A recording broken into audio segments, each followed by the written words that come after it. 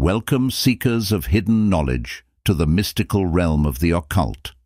Delve into the secrets of the universe as we journey together into the enigmatic world of ancient wisdom. Brought to you by your guide through the shadows of enlightenment, Wisdom Rocker. Uncover the mysteries, unlock the power, and journey with us as we explore the hidden depths within the pages of forgotten scrolls and ancient texts. Prepare to embark on a journey beyond the ordinary, where wisdom transcends time and knowledge is your greatest ally. Welcome to Wisdom Rocker. Prepare to awaken your inner sage. In this video, we will be uncovering the wisdom within the chapters of Echoes from the Gnosis. Volume 3. By G.R.S. Mead. The Vision of Aridaeus 1907.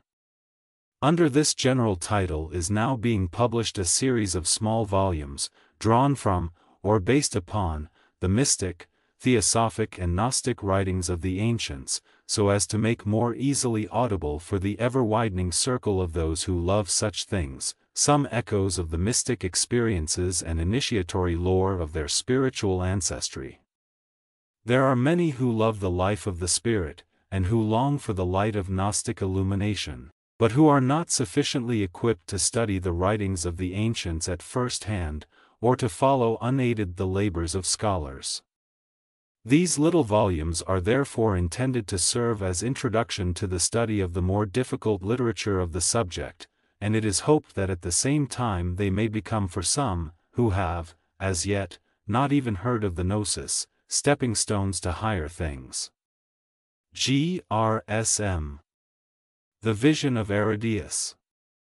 Preamble The story of Aridaeus is the most detailed and graphic vision of Hades preserved to us from classical antiquity, and exceeds in interest even Plato's story of Air and Cicero's dream of Scipio, not to speak of the less known visions of Crates and of Zosimus.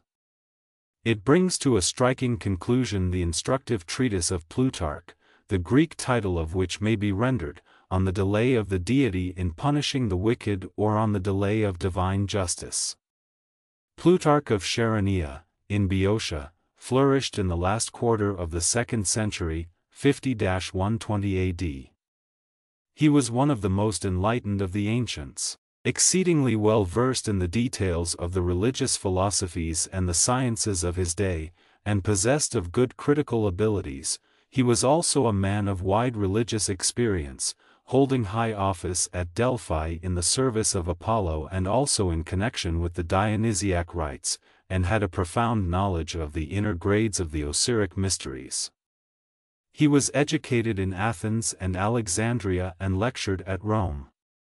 Plutarch is one of our most valuable sources of information on the Hellenic and Hellenistic theology, theosophy, and mystagogy of the first century, and is therefore indispensable in any comparative study of the Gnosis. Our philosopher has been variously styled a Platonist, Neoplatonist, eclectic, ethicist and syncretist, but it is very difficult to label Plutarch precisely, for as Dr. John Oakesmith, in his instructive essay, The Religion of Plutarch, a Pagan Creed of Apostolic Times, London, 1902, says, he suggested a frame of mind rather than inculcated a body of dogma. He was in some ways a very good specimen of what we ought to mean today by the term theosophist, though there is not a single word in the whole of his voluminous writings to show that he was acquainted with Christianity, it has nevertheless been argued that he must have derived his ethics and monotheistic ideas from Christianity, and, curiously enough, Dr. Charles Super, in his Between Heathenism and Christianity, Chicago, 1889, selects the very treatise of Plutarch's which contains our vision, together with Seneca's concerning providence, to demonstrate the intimate points of contact between the religio-philosophy of the time and the new religion. We have, however, shown at length in the prolegomena of thrice greatest Hermes that the doctrines of Hellenistic theology, theosophy and gnosis were widespread in the first century, and had in many ways a common language with the books of the New Testament writers, there is, however, no question of direct plagiarism on either side. The vision of Aridaeus is of interest in many ways, and doubtless that interest would be increased for us if we could be persuaded with Count Joseph de Maistre that it is permissible to believe that Dante took the general idea of his Inferno from the description of the punishments in our vision, as de Maistre writes in his translation of the treatise, Paris, 1856. I must, however, leave the suggestion to Dante scholars, with the remark that it is now proved, especially by the work of Dr. J. E. Sandys, that the renaissance of classical studies began long before the capture of Constantinople, in the days of Petrarch and Boccaccio, concerning the source and composition of the vision, and how Plutarch intended us to take it. As many opinions may be held as in the case of the better-known vision of air in Plato. I would, however, myself suggest that the key to the situation is to be found in the following passage of our philosopher Mystagogue. When a man dies he goes through the same experiences as those who have their consciousness increased in the mysteries. Thus in the terms patheno, to die, and nu alpha zekinesiai, to be initiated, we have an exact correspondence, word to word and fact to fact. First of all there are wanderings and wearying journeyings and paths on which we look with suspicion, and that seem to have no end, then, before the end, every kind of terror, shuddering, trembling, sweating, stupor. But at last a marvelous light shines out to meet us, pure spots and far fields welcome us, with song and dance and the solemnities of sacred sounds and holy sights.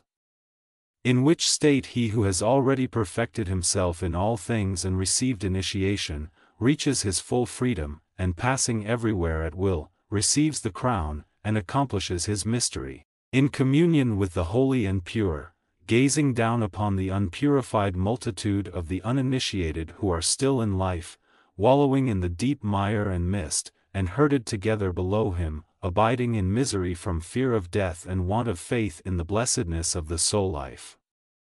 For you should know that the intercourse and conjunction of the soul with body is contrary to nature. Plutarch, Fragment Excerpt 9, Didot Edition. The further consideration of this suggestion, however, will more conveniently come later, when the reader has become acquainted with the vision. The treatise is in the form of a Platonic dialogue. The persons of the dialogue are, Plutarch himself, who is the chief speaker, Patroclus, his son-in-law, Timon, his brother, and Olympicus, an intimate friend. The scene is the portico of the temple of Apollo at Delphi. The tract is addressed to a certain Quintus, who must have been a Roman, but of whom nothing further is known. In the course of his argument, Plutarch remarks that no punishment is more distressing makes us more ashamed than to see our children suffering through our misdeeds. And if the soul of an impious lawbreaker could after death see his children or friends or family in great adversity because of him and paying the penalty of his misdeeds, no one would ever be able to persuade him, even for the wealth of Zeus, to be unjust or licentious again on his return to earth. I could tell you a true story, Logos, which I lately heard, he continues, but I'm afraid you would think it a tale, mythos, I therefore confine myself to probability only. As, however, the others pressed for the story, Plutarch replied, Permit me first to finish the argument as to probabilities, and then, if you like, I will set the tale going, if indeed it be a tale. Plutarch here evidently intends it to be understood that for him the story is logos and not mythos, and by logos he means as evidently that it is based on fact and not probability. This is plain from his own words, and is further strengthened by the general use at that date of the word logos for a serious narrative, especially a sacred discourse, or a story of initiation. It is further of interest to note that Plato at the end of his story of the vision of air refers to it as a mythos. Can Plutarch have had this in mind, and does he wish to draw a distinction between his logos and the famous myth of Plato? It is more than probable that the myths of Plato had been frequently discussed in the schools, and that there were very various opinions as to how they were to be taken, the term myth had fallen into disrepute among the learned, and Plutarch. Here as elsewhere uses logos as a better description of a narrative connected with the doctrines of initiation.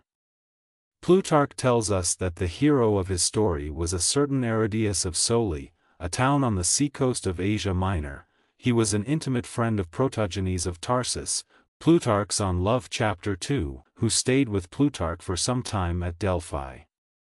Aridaeus related his experiences to Protogenes and other intimate friends, and so we may suppose that Plutarch first heard the story from Protogenes, and finding it somewhat in keeping with what he himself had been taught, or seen dramatically represented, in one or other of the initiatory rites through which he had passed, he polished it up and amplified it to suit his purpose. This Aridaeus had lived a notorious life of great profligacy and villainy, he was a sort of millionaire scoundrel of the period. Report had it that on his sending to ask the oracle of Amphilochus, at Mallus in Cilicia, whether there was any chance of his living a better life for the rest of his days, he received the reply that he would do better when he was dead.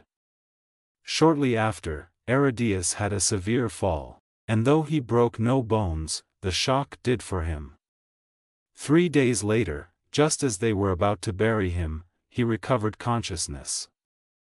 After this unpleasant experience, Aridaeus became an entirely reformed character, of quite exemplary virtue. Such a startling change could not pass unnoticed, but it was only to a few of his greatest friends that he told what had happened to him during the three days. The story runs as follows. The Vision When his consciousness passed out of the body, he experienced from the change the same sort of sensation that a sailor would who had been swept overboard into deep water. Then, coming up a little, he seemed to breathe in every part of him, and to see on every side at once, as though the soul the single eye had been opened. Of objects with which he had been previously familiar, he saw none save the stars, they were, however, of stupendous size and at enormous distances from one another, and poured forth a marvelous radiance of color and sound, so that the soul riding smoothly in the light, as a ship in calm weather, sailed easily and swiftly in every direction. Omitting most of the things he saw, he said that the souls of the dead, in passing from below upwards, formed a flame-like bubble from which the air was excluded, then the bubble quietly broke, and they came forth with men-like forms and well-knit frames. They, however, differed in their movements, some leaped out with wonderful lightness and darted straight up, but others kept turning round together in a circle, like spindles, bobbing up and down, with a mixed and confused motion, which recovered its balance only after a long time and with great difficulty. As to the majority of them, he did not know who they were, he recognized, however, two or three acquaintances, and tried to join them and enter into conversation. They, however, neither heard him, nor were they themselves. Demented and panic-stricken, avoiding every look and touch, they first turned round and round by themselves, then, falling in with many in the same condition, they huddled together, drifting about in every direction confusedly, with no object in view and uttering meaningless shouts, like war cries, intermingled with wails and screams of fear.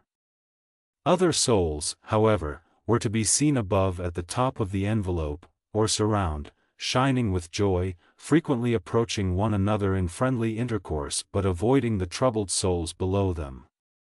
They seemed to show their dislike by drawing themselves together into themselves, and their joy and delight by expansion and extension. In that region, he said, he saw only one soul of a relative, though he was not quite sure about it, for his kinsman had died while he, Aridaeus, was still a boy. However, he came up to him and said, Welcome, Thespesius. And on his replying in surprise that his name was not Thespesius, but Aridaeus, the other remarked. It was Aridaeus, but from henceforth it will be Thespesius, that is, sent by the gods, for indeed thou art not dead, but by the will of the gods thou art come hither with thy reason about thee, whilst thou hast left the rest of thy soul, as it were an anchor, in the body. And this thou mayest now and hereafter prove to thyself by the fact that the souls of the dead cast no shadow and never close their eyelids. On hearing this, Thespesius set himself the more to use his rational faculties, and taking a closer look he saw that he had a faint and shadowy outline attached to him, while they, the dead, shone all round and were transparent, though not all in the same way. For some were like the purest full moon light, emitting one smooth, continuous and even color, while others had patches across them or narrow strips. Others again were quite mottled extraordinary sights dappled with livid spots, like adders, and others had faint scratches. Then Thespesius' kinsman, for there is nothing to prevent our calling souls by persons' names, pointed out everything telling him that Adrastea, daughter of necessity and Zeus, had been set in highest heaven to administer retribution for all offences, and no sinner was either great enough or small enough to escape her by force or avoid her vigilance.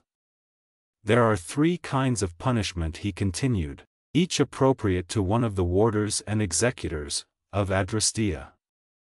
For speedy punishment, Poin deals with those who are chastised at once, in the body and through their bodies, but in somewhat mild fashion, since many offences are passed over as requiring purification only. In the case of those, however, whose moral cure is a more serious business, they are handed over by their conscience, literally daimon, to justice, dick, after their decease. And finally, in the case of those who are rejected by justice as altogether incurable, fury. Erinys, the third and most implacable of Adrastea's ministers, pursues them as they wander and flee, some one way, some another, and pitifully and cruelly undoes them all and thrusts them down into a state of which we can neither speak nor think.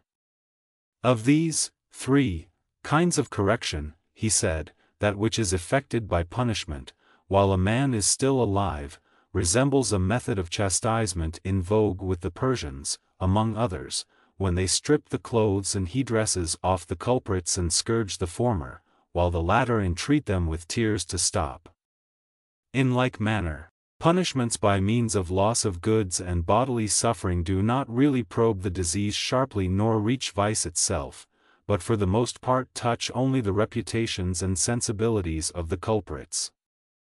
Accordingly whenever a man leaves that world for this unpunished and impure, justice grips him by the soul just as he is, naked, unable to put anything on, and so hide and cloak his villainy, but every bit of him in full view of every one on all sides. And first of all he is shown to his good parents, if such they are, or to his ancestors, as an object of loathing and a disgrace to the family, whereas if his forebears are bad, he has to look on their punishments and they on his, and this continues for a long time, until he has exhausted every one of his evil tendencies in pain and toil, which in extent and intensity as much exceed all suffering in the body, as waking consciousness is more vivid than a dream. And the scars and marks of every one of their evil tendencies more or less remain on all of them. Observe, he continued, the colors of the souls of every shade and sort, that greasy brown-gray is the pigment of sordidness and selfishness, that blood-red inflamed shade is a sign of a savage and venomous nature, wherever blue-gray is, from such a nature incontinence in pleasure is not easily eradicated, innate malignity with envy, causes that livid discoloration in the same way as cuttlefish eject their sepia. Now it is in earth life that the vice of the soul, being acted upon by the passions and reacting upon the body, produces these discolorations, while the purification and correction here have for their object the removal of these blemishes, so that the soul may become entirely ray-like, ovoid s, and of uniform color. As long as these colors are present, there are relapses into the passions, accompanied with pulsings and throbbings, with some souls faint and soon suppressed, but with others vigorously intensified. Of these, some by dint of repeated correction at length recover their proper disposition and condition, others again, By the strength of their intractability and their being nailed down to the love of pleasure, are carried down to the bodies of beasts. The former, through weakness of reason and inertia of the contemplative principle, are carried down by the practical element to birth, as men, while the latter, lacking an instrument for their unbridled lust, long to unite desires to enjoyment and bring these together by means of any body, for out of body there is only an imperfect shadow and dream of pleasure without fulfillment.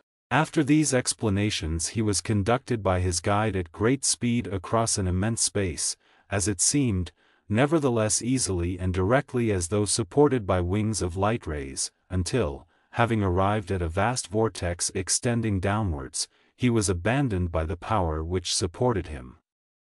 He observed also that the same thing happened to the rest of the souls there, for checking their flight, like birds, and sinking down, they fluttered round the vortex in a circle, not daring to go straight through it. Inside it seemed to be decked, like Bacchic caves, with trees and verdure and every kind of foliage, while out of it there breathed a soft and gentle air, laden with marvelous sweet scents, making a blend like wine for topers, so that the souls feasting on the perfume were melted with delight in mutual embraces, while the whole place was wrapped in revelry and laughter and the spirit of sport and pleasure. Thespesius' guide told him that this was the way by which Dionysus ascended to the gods and afterwards took up Semele, it was called the place of oblivion, Lethe Therefore he would not suffer Thespesius to stay there, though he wished to do so, but forcibly dragged him away, explaining how that the rational element of the soul was melted and moistened by pleasure, while the irrational and that which tends to body being thus moistened and made fleshly, awakens the memory of the body, and from this memory comes a yearning desire which drag down the soul into generation, the soul being weighed down with moisture. Then Thespesius, after taking another journey as great as the former one, seemed to see in the distance a huge basin, with streams flowing into it, one whiter than the foam of the sea or snow, another like the purple which the rainbow sends forth, while others were tinged with other colors, each at a distance having its own splendor. But when they came closer, the basin itself, the surroundings disappearing and the colors growing fainter, lost its varied coloring and retained only a white brilliance. And he saw three beings, daimons, seated together, forming a triangle one with the other, mixing the streams in definite proportions. Thespesius' soul guide thereupon informed him that Orpheus had advanced as far as this when he went in search of the soul of his wife, but, through not remembering correctly, had spread an erroneous report that the oracle at Delphi was shared by Apollo and Night, whereas Apollo had nothing to do with Night. But that which you see, he said, is the common oracle of Night and Selene, which eventuates nowhere on the earth in one particular seat, but meanders in every direction manwards in visions and images. It is from this that dreams, after being mixed, as you see, spread abroad a mixture of the simple and true with the complex and fallacious. As for the oracle of Apollo, he continued, you have not seen it, nor will you be able to do so, for the stern cable of your soul does not give or slacken further upwards, but drags it down through being made fast to the body.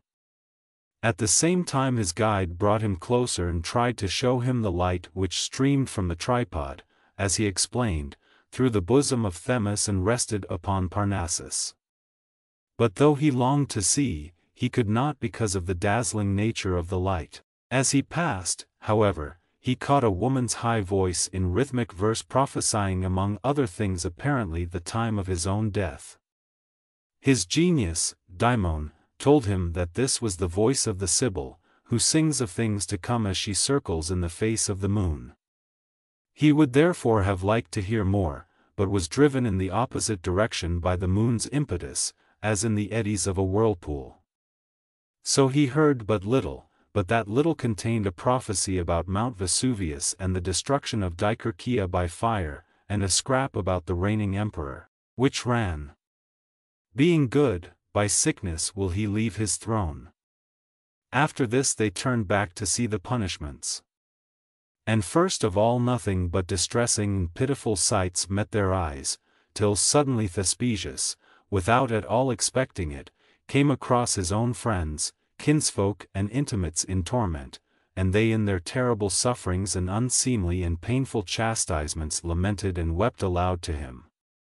And last of all he looked down upon his own father emerging from some sort of a pit, covered with marks and scars, stretching out his hands to him. He was no longer allowed to keep silence, but compelled by the authorities to confess that his hands were stained with the blood of some wealthy strangers he had poisoned.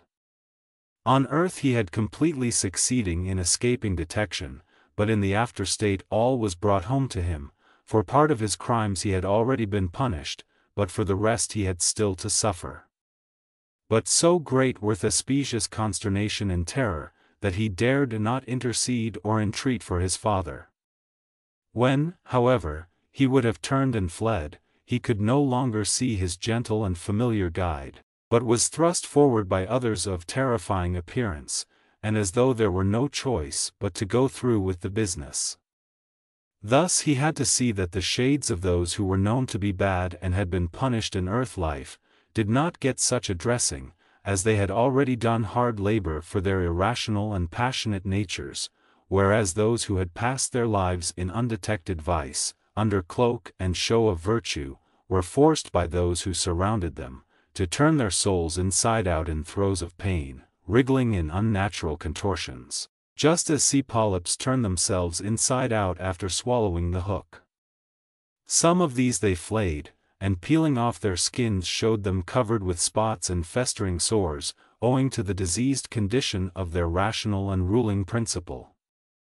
Others, he said, he saw entwined like snakes, two, three, or more together, malevolently devouring one another in revenge for what they had suffered or done to each other while living. There were further, three, lakes alongside one another, one of boiling hot gold, one of lead, bitterly cold, another of iron, terribly hard. And there were demons on duty, who, just like smiths with tongs, put in and took out the souls of those who suffered from the vice of insatiable greed and avarice. After they had been made red-hot and transparent by firing them in the gold lake, they thrust them into the lead one and gave them a bath in it, and after they had been frozen there and made as hard as hail, they further transferred them into the lake of iron, there they became terribly black, and after being smashed up by its hardness and crushed to atoms, they changed their shapes. They were then in this state taken back to the gold lake, suffering, he said, terrible agonies in their transformations. But the most pitiable sufferings of all, Thespesius declared, were those of the souls who, when they seemed to have at last got their discharge from justice, were arrested again. These were the souls of those whose crimes had been visited on their children or descendants. For whenever one of the latter happened to come up, he fell upon the criminal in a rage, crying out against him and showing him the marks of his sufferings, reproaching him and pursuing after him. And though he tried to get away and hide himself, he could not, for the chastisers speedily hunted them back to justice and constrained them all over again, in spite of their pitiful cries for mercy owing to what they already knew of the punishments in store. And to some of them, he said, many of the souls of their descendants attached themselves, just like bees or bats, crowding thick upon each other, and gibbering in anger at the memory of what they had suffered through them. Last of all he saw the souls, of this class, who were returning to birth, being forcibly turned into all sorts of beasts, having their shapes changed by the shapers of animals, with blows of curious instruments. In some cases they hammered the whole of their parts together, in others they twisted them back, and some parts they planed off smooth, and got rid of them entirely, so that they might be fitted to other habits and modes of life. Among them he saw the soul of Nero in a bad state generally and pierced with red-hot nails. The smiths had in hand for it the form of Pindar's viper, in which it would be conceived and come to life by gnawing itself through its mother. Hereupon, he said, a great light suddenly shone forth, and a voice from the light was heard giving orders to change it into a milder type, and devise a creature that croaks round marshes and lakes, he had been already punished for his crimes, and now some favor was due to him from the gods for having freed Greece, the most excellent nation of his subjects and the one dearest to the gods. This was as far as the Thespesius got in his vision. When, however, he was going to turn back, he had a most terrible fright, for a woman of amazing form and size seized hold of him, with the words, Come thou to me so that thou mayest the better remember the details, and she was just going to use on him a red-hot stylus, like, and caustic, painters, when another woman stopped her. Then, as though he were suddenly sucked through a tube by a terribly strong and violent in-breath, he lit in his body, and woke up just as they were on the point of burying him. Comments The consideration of this story of vision opens up so many important questions that the main difficulty is to compress within the limits of this small volume a portion of what might be written. I shall therefore attempt to touch on some of the more general points of interest only. We first notice that the consciousness of the soul passes from what we may call the plane of earth to that of water, and it is probably from this, which seems to be a somewhat general fact of psychic experience, that the glyphs of water, sea, ocean, etc., have been adopted so widely as symbolic of subtle matter. In this state souls may be said to sail about, because apparently there is no motion of limbs, their astral vehicle is conveyed by the current, they sail about on sound or light waves, perceiving no ordinary physical mind forms, but stars, certain magnitudes, or perhaps nodes, where certain greater currents meet. Or, if we must interpret this sublime spectacle in a more physical sense, it may be said to pertain to the region beyond the lower Earth atmosphere where sight is unobscured by that atmosphere. The single eye is a Platonic term. The flame-like bubble vehicling the souls of the dead is a graphic phrase that reminds us admirably of all we have heard of what has been called in modern theosophy the auric envelope. But why is the air said to be excluded from it? If it is permissible to lay stress on the point, I would suggest that it is because what is called here air, in connection with what has been previously called earth, and water, is that which brings with it proper self-consciousness. Fire, water, and earth play together to make the forms. If the bubbles had had air in them, they would have been fully developed proper souls, capable of looking at themselves, considering and studying themselves from without personality. The bubbles thus pertain to a lower state of development, namely, the watery spheres. But I fear that this mode of interpretation may perhaps prove slightly perplexing, and I will therefore not pursue it. It need only be added, to complete the idea for those who choose to follow it up for themselves, that it might be said that every one at death delivers over something, and then reappears in his own true inner form. Those who darted straight up to the higher air would thus be those who were able to retain with themselves something outside personality. Air, in this sense would be outside personality, and we need something within ourselves to correspond, to attract us up to these more transcendent states of consciousness.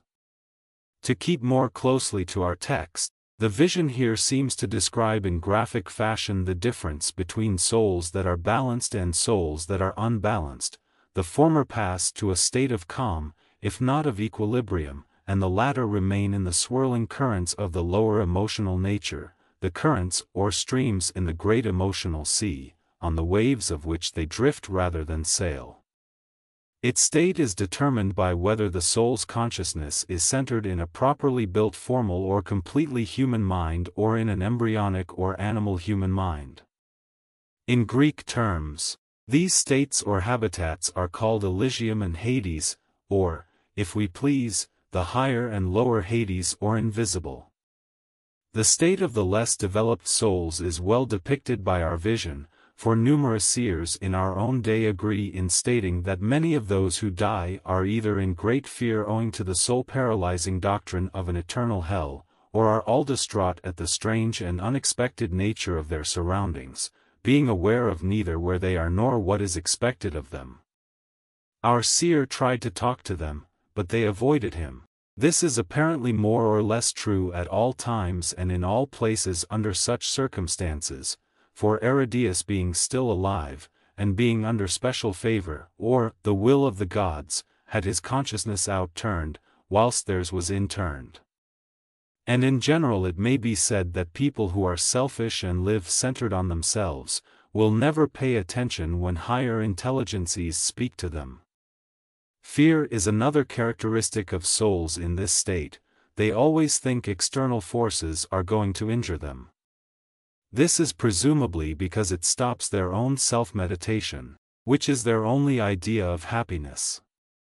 The envelope or surround that contained Elysium and Hades was thought of by the ancients as extending, as far as the moon, for they generally thought of the after-death state from a purely objective physical standpoint. The moon was thus the physical moon, and the sublunary regions were the Earth's atmosphere as far as the moon. Mystically the sublunary are the states ruled by the moon, the mystic mother who weaves the silver ghosts that dance round all, up to a certain stage in evolution, when the sun of the true mind shines forth with golden rays. With regard to souls in the higher portions of the surround, the Elysian state proper or higher heaven world, the unselfish outward-looking characteristic of mind always brings joy, radiant joy, which in its fairest modes may well be thought to go forth so as to benefit all the world. There should always be a large capacity for such joy in any soul that is really and truly thus turned outward and is growing fast. Such souls expand to show joy, this expansion connotes at the same time, adhering and clinging to the beloved object. The two expand till they embrace and interpenetrate, for love interpenetrates. The change of name from Aridaeus to Thespesius is to be noted. Change of name is found in almost all initiatory rites, and corresponds to an inner change of power. In the mystery language of the Greeks, the epopt may be said to meet with the psychopomp, the soul meets with a more ancient kinsman belonging to the family of its higher self.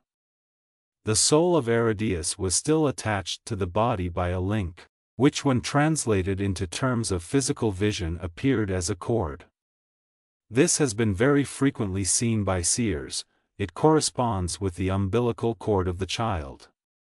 There is apparently a corresponding connection between any two vehicles of man's consciousness, but whereas on the physical plane it is a cord, on other planes it would be better, perhaps, to think of it as a superphysical, magnetic, psychic, mental, etc., connection. Aridaeus is next told to notice that the souls of the dead never close their eyelids, and it has been remarked by many that ghosts and apparitions of the dead never do so. The natural closing of the eyes is normally conditioned in our world by alternations of light and darkness, depending on the revolution of the earth, but in the subtle state of matter, where the solid earth does not intervene to shut out the sunlight, the realm of the astral light, there are no alternations of light and darkness. It is said that the gods never close their eyes, and there is also an apocryphal legend that tells us the same of Jesus. The shadow, again, which Aridaeus throws owing to his still being alive and not one of the dead, is presumably some portion of subtle physical matter which clouds his psychic envelope, in that he was still anchored to his body, by means of what we may call a psychophysical magnetic current. Mystically it may be said that while the physical external sun casts a shadow, when we are our own sun, we do not cast a shadow.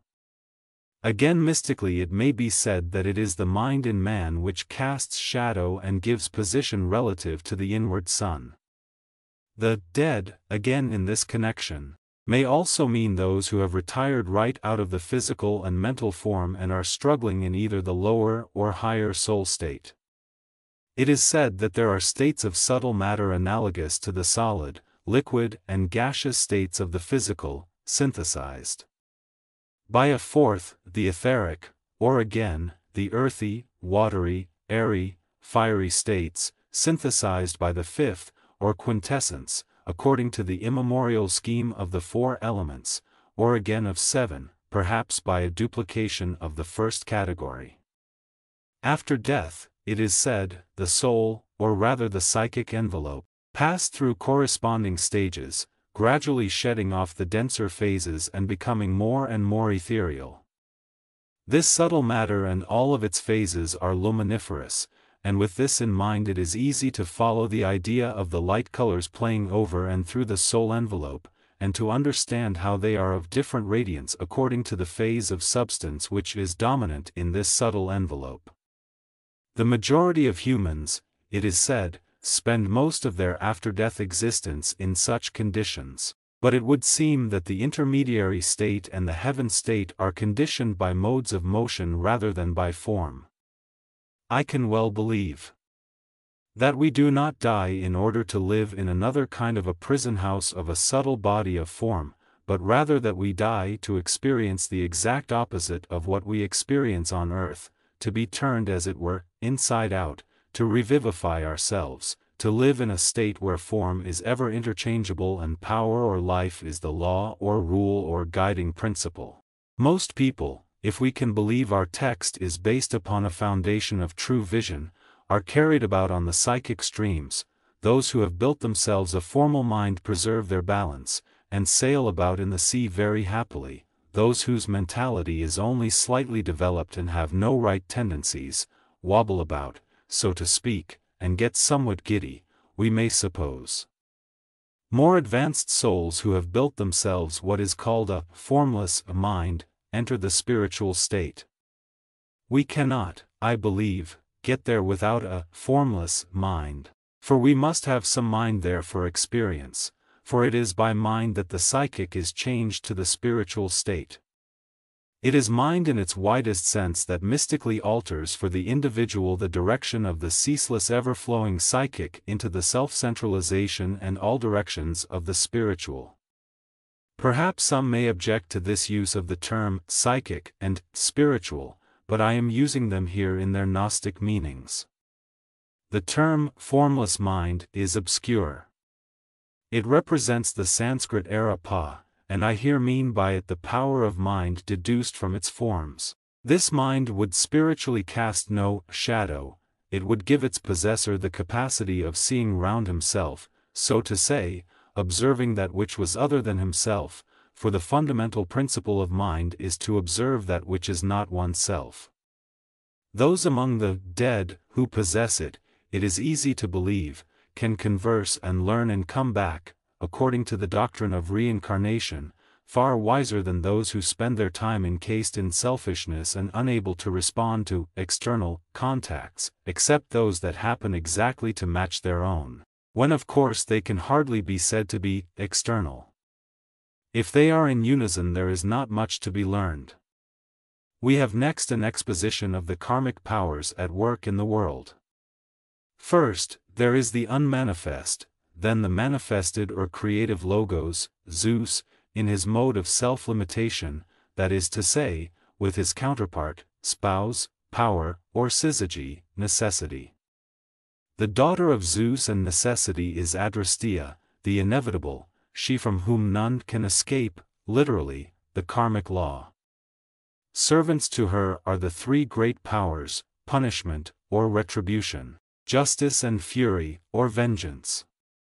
Thus there are seven great karmic powers in all. This may be said to be the hierarchy of the justice side of the logos, the hierarchy of the mercy side is another, and yet, perchance, the same.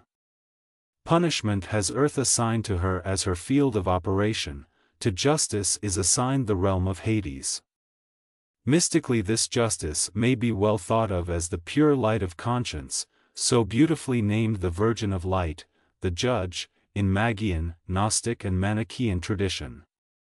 The Virgin of Light is, I believe, that pure state which gives birth to really unbiased understanding. It may be said to be man's higher unbiased impersonal mind shining into his lower mind.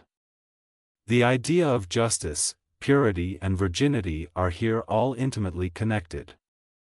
Vengeance, the third of Adrastea's ministers, thrusts the incorrigible down, into a state of which we can neither speak nor think, says our seer's guide, for such speech or thought, presumably, would bring its pictures up before the sight of the single eye. This is evidently the state which the Greeks called Tartarus, Tartar. Doubtless a loan word from some other, and perhaps more ancient, tongue, a double, possessed of a mystic root meaning for those skilled in the most primitive of all languages, which the Greeks called onomatopoesis. It corresponds, though very imperfectly, with the Avichi of the Brahmins and Buddhists. The word Avichi is said to mean waveless. In its extreme sense it is the final state into which the irredeemably evil in spiritual wickedness are thrust, until the end of a world period.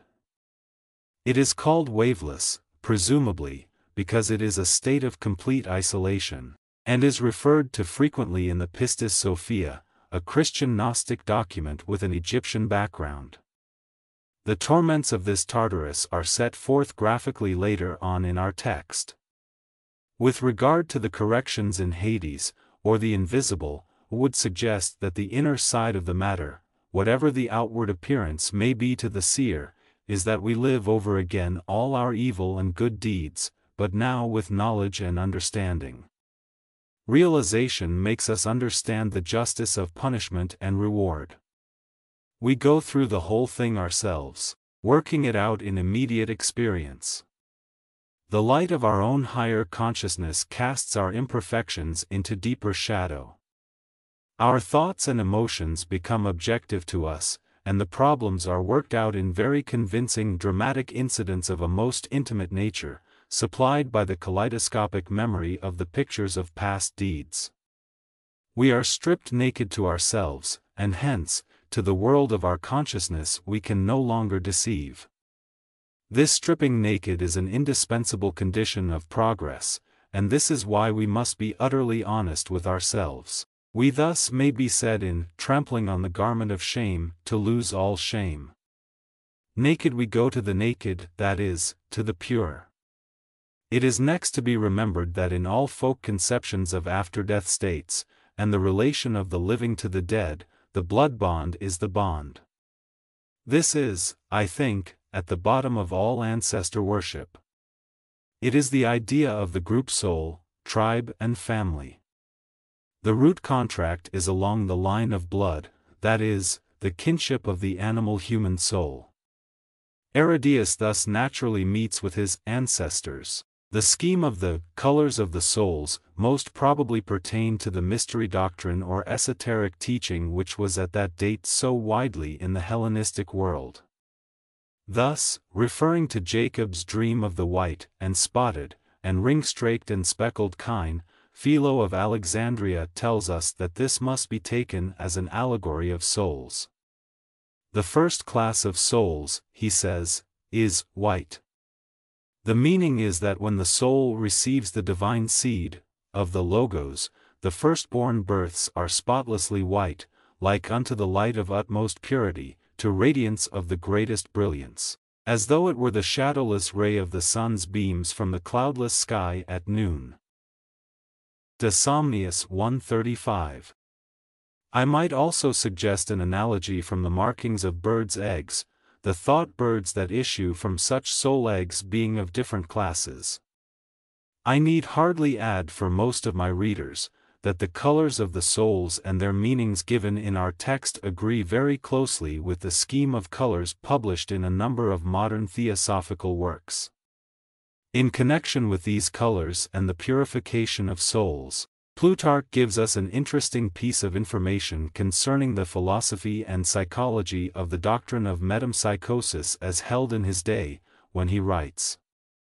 The former souls through weakness of reason, and inertia of the contemplative principle are carried down by the practical element to birth as men, while the latter, lacking an instrument for their unbridled lust, long to unite desires to enjoyment and bring them together by means of any body, for out of body there is for such souls only an imperfect shadow and dream of pleasure, without fulfillment. The contemplative and practical elements of the soul may be usefully compared with the qualities or modes, gunas, of nature which the Indian philosophers characterize respectively as pure, sattvic the symbolical color of which is white, and passionate, rajasic, color, red, though indeed it is very difficult to find English equivalents for the root meanings of these Sanskrit terms. According to Proclus the contemplative, or theoretic, and the practical are the higher and lower tendencies of the rational principle, logos. The term theoretic has nothing to do with the modern meaning of the word, but is derived from theoria, which signifies direct sight or eye-to-eye knowledge gnosis. Macrobius tells us further that the former is ruled by Saturn and the latter by Jupiter. According to the mythology, or rather theology, of the Greeks, Kronos, Saturn, was father of Zeus, Jupiter. Zeus may here be said to be the fabricative power of the Logos. Porphyry, in his introduction to the philosophy of Plotinus, tells us that the contemplative or theoretic life has three grades of virtues, the highest of which is the ideal or paradigmatic, pertaining to the spiritual, formless, mind alone. These are the Uranic powers latent in man, Uranus being father of Kronos. They transcend the rest of the soul powers, just as the type or paradigm transcends the image, for the spiritual mind contacts at once and the same time all the essences which are the types of lower things. The most intractable class of souls are centered in the animal nature, they are dominated by that mode, guna, which the Indian philosophers call dark, tamas color black, and the description of their most characteristic tendency is corroborated by many seers today. When this mode is in the ascendant, then, and only then, it is said, is retrogression into the nature of an animal possible, such a soul allies itself with the irrational. The theory of reincarnation into animals is treated at some length in my volumes on Thrice Greatest Hermes, and it is only necessary here in order to safeguard the philosophical view of the matter, to quote from Proclus. But the true reason asserts that though the human soul may be degraded to brutes, it is only to brutes that possess the life suited to such purpose, while the degraded soul is as it were vehicled in this life, not body, and bound to it sympathetically. Our story next introduces us to a change of scene, a vision of the descent into Genesis, the vortex that carries the souls down to physical birth.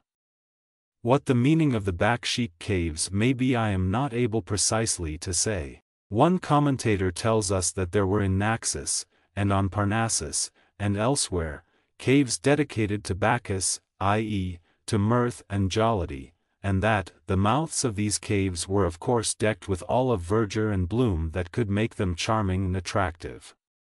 This may be so, but I am more inclined to think that Plutarch, who was an initiated Dionysian, is comparing the vision with the scenic setting of the mystery rites. However this may be, others have described something very similar concerning this mystery and that of the basin later on, as the following picture of what the writer calls the Mart of the Souls, see Theosophical Review, March 1905, may testify. He looked down, and behold a whirlpool swirled and swept unceasingly before him, the brim of which was stained as though with dyes. Above his head hung a mighty upturned chalice, from whose lip drained a measure as of honey, and it seemed to the man that drop by drop fell into the swirl of the pool, and laid itself along the brim. The man saw the thin pale flame shapes gather round the margin of the pool. Behind them crept strange mists and pallid shadows, shapeless, yet holding potential forms, forms of ripples, of waves, of the strange clouds that lie about the sky at sunset, of all things unearthly, yet which mimic earth. And the shapeless shadows, too, crept down to the lip of the pool.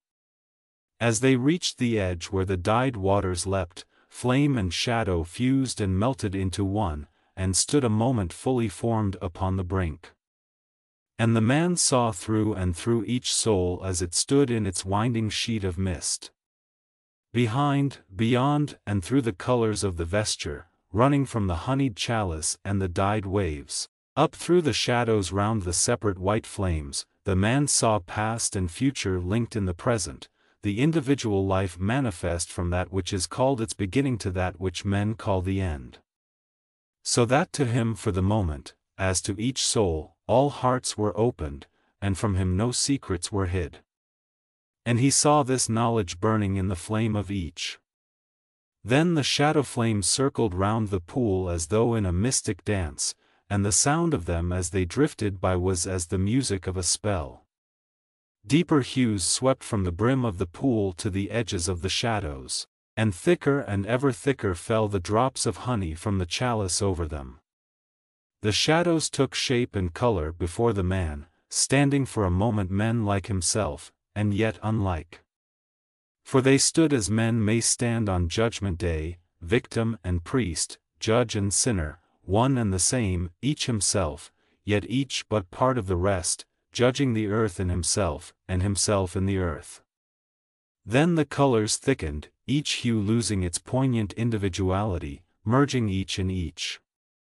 And as the colors blurred, so grew the forms more dense. And as the density increased, so did each shadow erstwhile vast diminish, drawing to its center, till it seemed to the man that he looked but on a swarm of bees circling round the rims of one gigantic honey pool.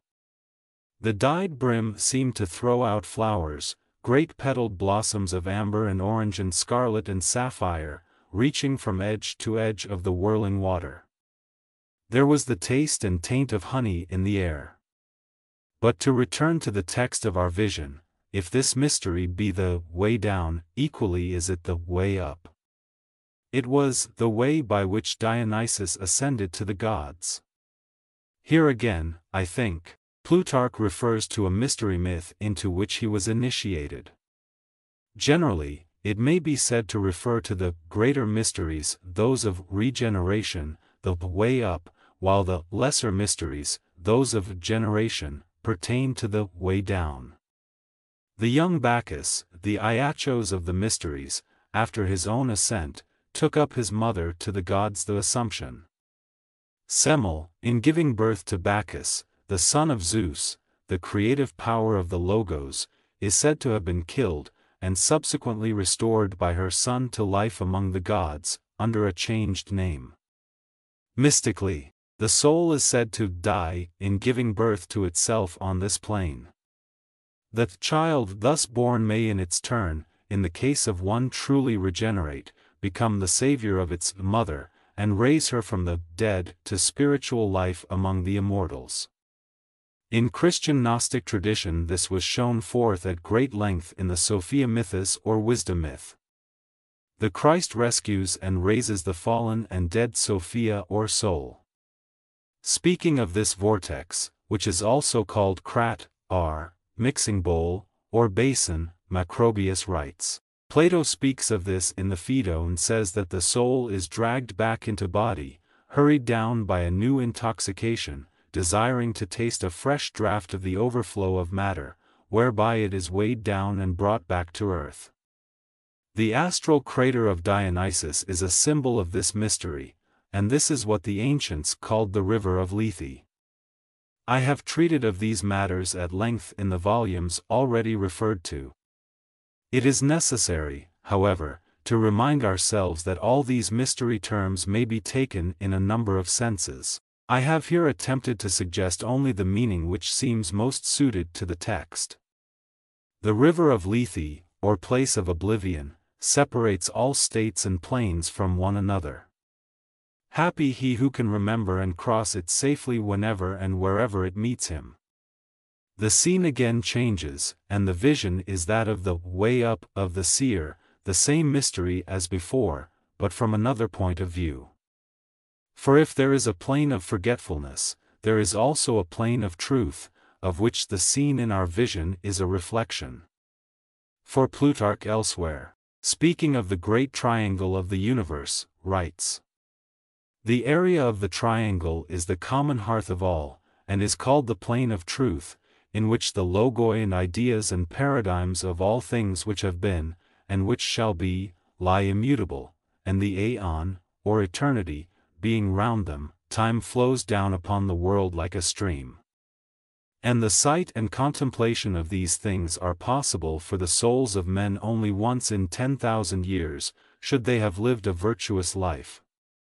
That is to say, I believe, following the tradition of the Pythagoreans. 10 by 10 by 10 x 10, the completion or perfection, 10, of all the possibilities of the square, 4, of matter, as contrasted with the triangle, 3, of spirit. Plutarch continues, in this I think speaking of what he knew or had been taught. And the highest of our initiations here below is only the dream of that true vision and initiation, and the discourses, science, delivered in the mysteries, have been carefully devised to awaken the memory of the sublime things above, or else are to no purpose. But to return to our text and the lunar reflection of this eternal sunland. The statement that Orpheus had advanced, as far as this only, must, I think, be taken as an indication of jealousy de métier. Plutarch was high priest of Apollo at Delphi and had doubtless a bone of contention to pick either with his Orphic contemporaries or with the Orphic tradition, which had perhaps belittled the Delphic oracle. However this may be, this crater is declared to be the oracle of Selene, the moon. That is to say, it pertained to all sublunary dreams and visions a mixture of the simple and true with the complex and fallacious. Beyond this Aridaeus could not see, for thereafter began the true light world, glimpses of which are so marvelously portrayed in Gnostic tradition. Aridaeus was still bound to the body, and had not yet been made pure, or freed himself from the world illusion, as the Hermes mystics called it. The light of the spiritual sun streamed from the supernal tripod, or triangle, of the plane of truth, through the bosom of Themis. Themis is fabled to have been the daughter of Uranus and Gaia, of heaven and earth, the primeval cosmic pair, or syzygy. Themis is order, truth, equity. The tradition of the Delphians was that their oracle was first possessed by Gaia, then by Themis, whom antiquity regarded as a very ancient prophetic divinity, and finally by Apollo. Parnassus was their holy mount. The whole symbolism, therefore, agrees with many another mystic tradition, in which the mount of contemplation must be ascended before the sunrise can be seen. But this was not for Aridaeus as yet, he could not see, he could only hear the voice of the Sibyl. Legend supposed that the so-called face of the moon was that of the Sibyl gazing down upon the earth and singing its fate and that of its dwellers as she circled round. The prophecies, we must, I suppose, take as we take those of the Jewish Sibyllines, that is, as after the event. The famous eruption of Vesuvius took place in 79 AD, and this event is said to have been foretold in the Roman Sibylline books. Dicaearchia was one of the towns destroyed, afterwards called Puteoli, the modern Pozzuoli. As Vespasian died of disease and was not assassinated, as were so many of the emperors, also in 79 AD, we may perhaps have here an indication of a date terminus of our story, or of the writing of the treatise of Plutarch, if that is of any importance. The scene next changes to a gruesome vision of the Inferno, where it is to be noted that his terror deprived the seer of the presence of his gentle and familiar guide, and immersed him in all the horrors of the infernal living picture gallery. The idea of being turned inside out in the after state is graphically compared with the sea polyps or scolopendra, a fish that was supposed by the ancients to have the power occasionally of throwing out its intestines. When caught by a hook it was fabled to eject its entrails, remove the hook and then take them in again an excellent, philologic, romance, that does not, however, seem to have come down to the medieval bestiaries. When used of the soul it suggests that the inner became as the outer, and the outer as the inner.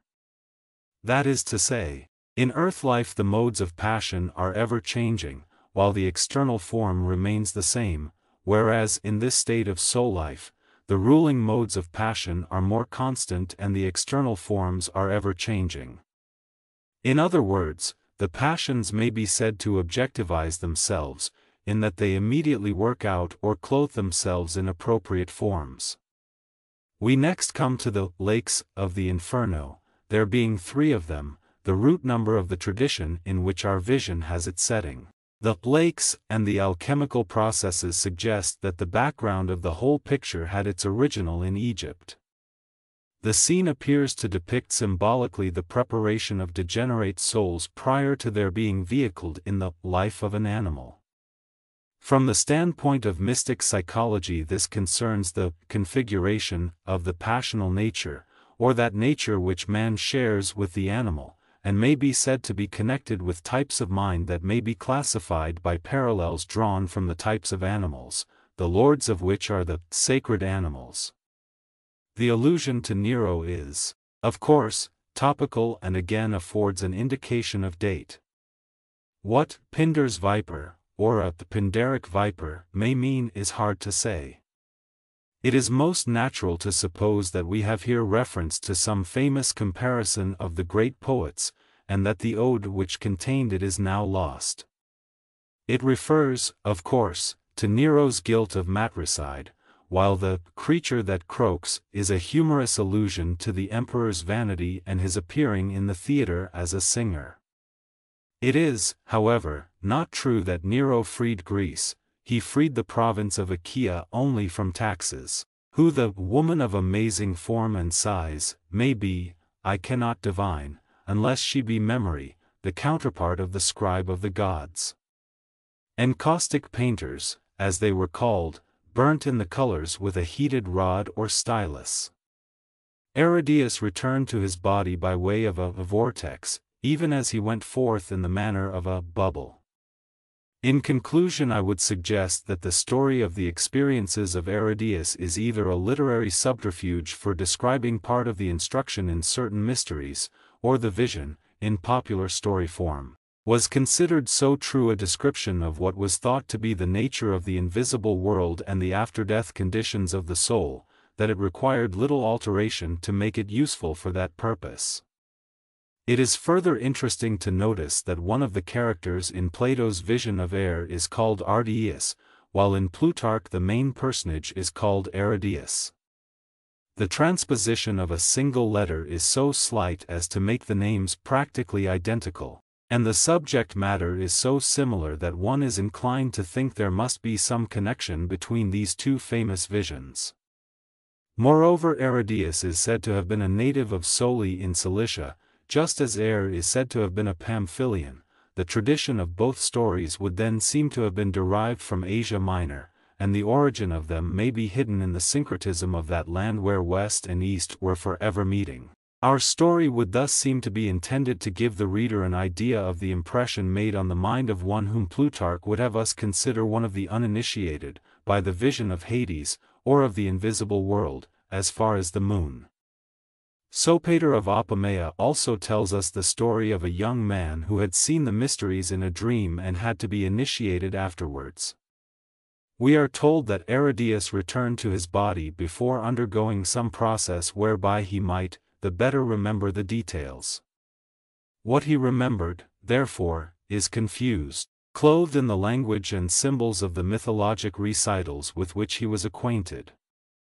Had Aridaeus been really initiated, he would probably not have been represented as requiring a guide, and would have remembered everything clearly without the cloaking of images reflected from physical forms, and of scenery created by the recitals of popular religion, or the dramatic setting of formal mystery rites. Thanks for watching the Wisdom Rocker. Don't forget to like, comment, and share.